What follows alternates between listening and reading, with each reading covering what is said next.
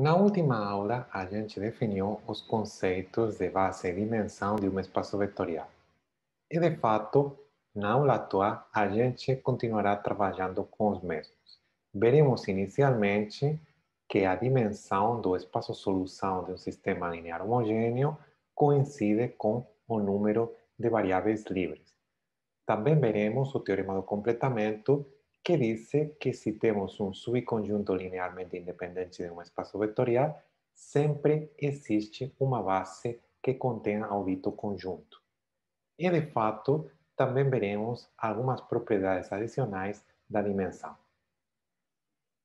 Uma pergunta que é natural, chegados a esse ponto, é a seguinte: a gente sabe que quando consideramos um sistema linear, homogêneo, tá? Sistema linear homogêneo, as soluções formam um subespaço vetorial de Rn, se n é o número de incógnitas, tá? Uma pergunta natural é saber qual é a dimensão desse, tá? Qual é a dimensão do espaço-solução do sistema linear homogêneo. E a resposta é o número de variáveis livres, porque, bom, é fácil conferir, mas essencialmente as variáveis livres parametrizam todas as soluções. Então, as variáveis livres são o número de graus de liberdade que a gente tem para as soluções do sistema. Então, a dimensão desse espaço-solução é sempre o número de variáveis livres. Se vocês têm que o número de variáveis livres é zero, é porque a solução é única, é restrita ao espaço vetorial que só contém o vetor nulo e a dimensão desse espaço é zero. É uma coisa importante, a dimensão do espaço vetorial gerado, ou seja, do espaço vetorial que só contém o vetor nulo, tá? Essa dimensão é igual a zero. Ok? É, bom, nesse caso, uma base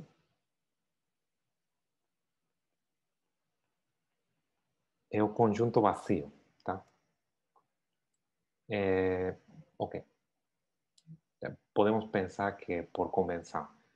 Então, é, a dimensão é, desse subespaço vetorial, ou desse espaço vetorial, para falar mais propriamente, é sempre igual a zero. Ah, ok. Então, eh, agora vamos ver esse teorema que é chamado teorema do completamento.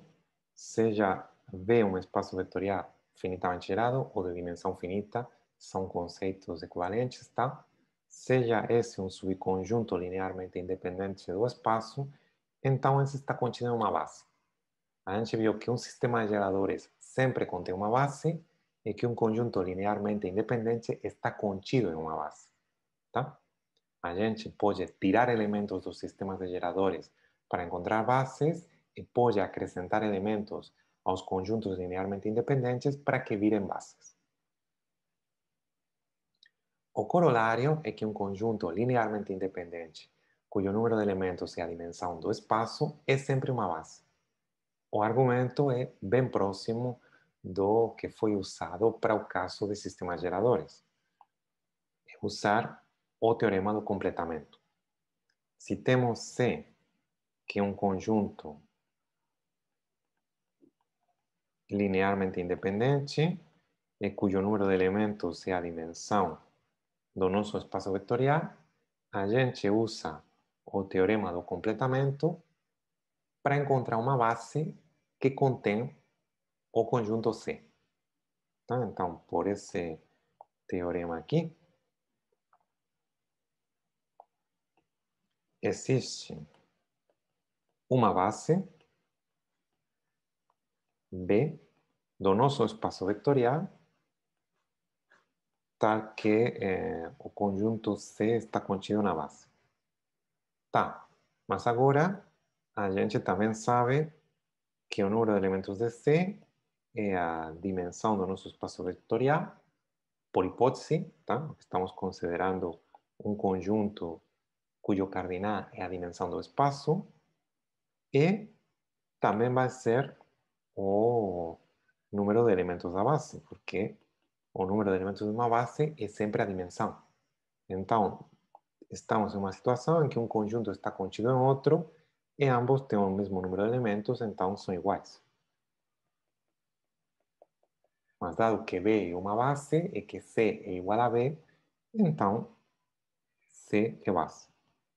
E pronto, a gente mostrou que esse conjunto linearmente independente, se tem o mesmo número de elementos do que a dimensão do espaço, então é uma base.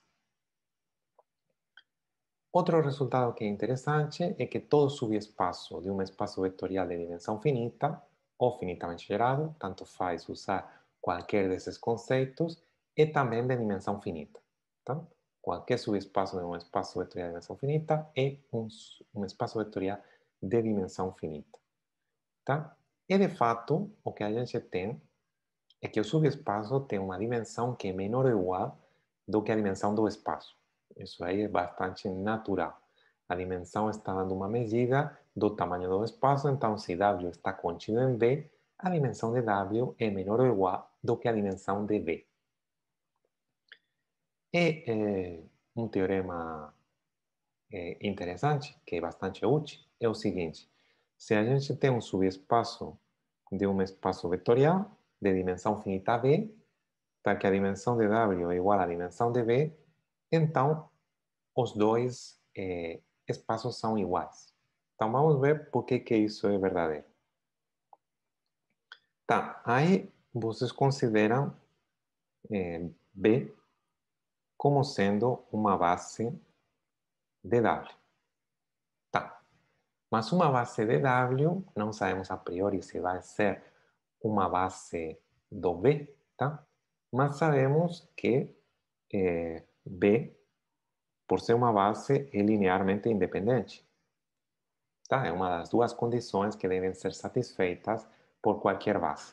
Ser um sistema de geradores e ser linearmente independente. Claro, como B é linearmente independente, temos que B é um subconjunto linearmente independente de B tal que o número de elementos de B é igual à dimensão de W? Porque o número de elementos de uma base é a dimensão do espaço. Mas, a dimensão de W coincide com a dimensão de B, porque é a nossa hipótese. Então, eh, temos pela hipótese que essa dimensão vai ser a dimensão de B. Tá, e agora temos um subconjunto linearmente independente do espaço vetorial B que tem um número de elementos igual à dimensão. Em esse caso, a gente viu que é sempre uma base. Então, o nosso conjunto é B é uma base do P. Tá, mas isso quer dizer que é um sistema de geradores. E agora a gente tem que o subespaço gerado pelo nosso conjunto B é igual a W. Aí a gente está usando que é um sistema de geradores de W, mas também é um sistema de geradores é, do B, tá? Porque tá, é uma base em um sistema de geradores. Então, vamos ter que também é igual ao B, e daí B é igual a W. Tá? Então, temos que esses dois espaços vetoriais são iguais. Tá? Então, é uma coisa interessante em que se temos um subespaço de um espaço vetorial, o subespaço ou é igual, é, subespaço W ou é igual ao espaço vetorial B, ou a dimensão é menor. A dimensão de W é menor do que a dimensão de B. A única maneira em que as duas dimensões podem ser iguais é se ambos os espaços vetoriais são iguais. Tá? Vamos ver também outra propriedade interessante, tá? que é a seguinte. Vamos considerar dois subespaços U e W de V. Tá? A gente tem vários subespaços que estão relacionados com U e W. Claro, U, também W, mas podemos considerar a soma, que é o menor subespaço que contém a união de U e W, e também podemos considerar a interseção. Então, temos esses quatro subespaços. E a fórmula seguinte relaciona as dimensões de todos esses subespaços do V. E, de fato, a dimensão de U mais W, mais a dimensão da interseção, é a dimensão de U mais a dimensão de W. É uma fórmula que vale sempre, eh, sejam quais for, os subespaços U e W do eh, espaço vetorial B. Em particular, se temos uma soma direta, vamos lembrar que eh, a soma de U e W é direta se a interseção é o subespaço vetorial que só contém ao vetor nulo, tá? Mas isso acontece se, somente se, é, ok? A dimensão da interseção de U e W é zero. Então, a soma, se a soma é direta, temos que essa parcela aqui da soma é zero. E daí a dimensão de U mais W vai ser a dimensão de U mais a dimensão de W. De fato, também vale a implicação inversa. Se temos a igualdade tá, da dimensão da soma com a soma das dimensões, é porque isso aqui é zero. E, em consequência, uma interseção W só contém um vetor zero e a soma é direta. Então, essa igualdade em geral, não é satisfeita pela soma, porque a gente tem esse termo aqui. Só é satisfeita se a soma é direta. Até agora, a gente deu a definição de base e dimensão de um espaço vetorial, mas, por enquanto, a gente não trabalhou muito com esses conceitos na prática. Na próxima aula, veremos como calcular na prática a base de um subespaço de Rn e, em consequência, também a sua dimensão. Muito obrigado pela sua atenção.